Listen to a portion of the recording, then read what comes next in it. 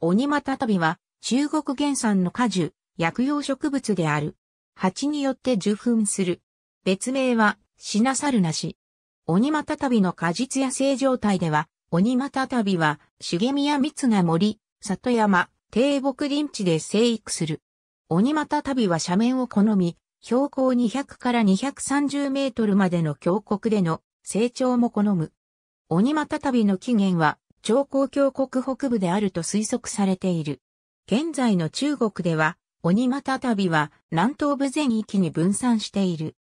植物体ではなく、ハーバリウム標本がイギリスのプラントハンターであるロバート・フォーチュンによって王立園芸協会へ送られ、そこからジュール・エミール・プランションが新属名を1847年のロンドン・ジャーナル・オブ・ボタニーで命名した。ビーチ紹介のために植物採集を行っていたチャールズ・マリーズは日本で鬼股旅について書き留めたが、西洋の園芸への導入は1900年に湖北省で採集した種子をビーチ紹介へ送ったアーネスト・ヘンリー・ウィルソンによるものである。くるみほどの大きさの果実は食用となる。初めて商業的に栽培されたのはニュージーランドであった。現在はアクタニディア・デリシオーサにとって変わられている。